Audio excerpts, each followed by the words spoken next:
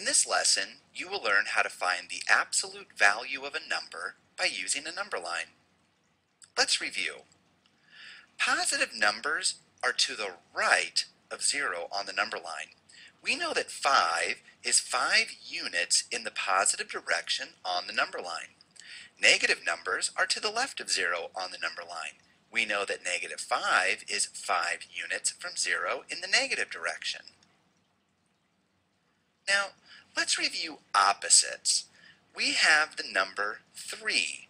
The opposite of 3 is negative 3. They're both 3 units from 0 on the number line. Another example of an opposite would be 4.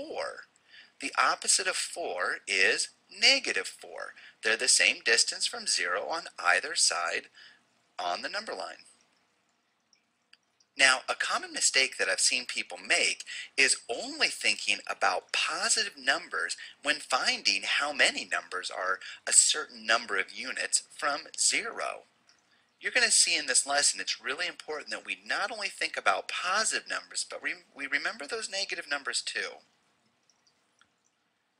Alright, let's first look at the definition of absolute value. Now, absolute value is the distance a number is from zero on the number line. So it's talking about distance.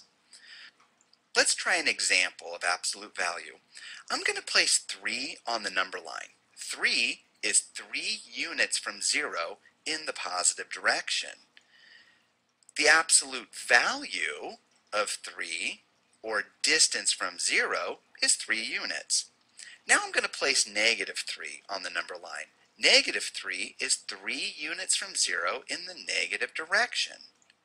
The, when we write absolute value of numbers like this, we use these bars. These bars tell us that we're looking for the distance from 0. Let's go ahead and try another example. I'm going to place 4 on the number line. 4 is a positive number, so it's to the right of 0, 4 units. The absolute value of 4, or its distance from 0, is 4. Let's try negative 4. Negative 4 is to the left of 0 4 units. The absolute value of negative 4 is still 4 units from 0 on the number line. Again, I want you to notice those bars that I put around the negative 4. This tells me that I'm looking for the absolute value or the distance from 0 that negative 4 is on the number line.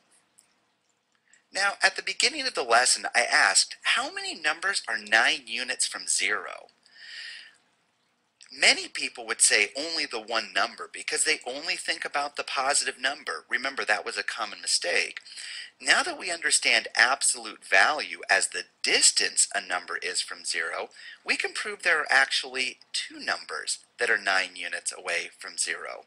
There is 9, which is a positive, and negative 9, which is a negative.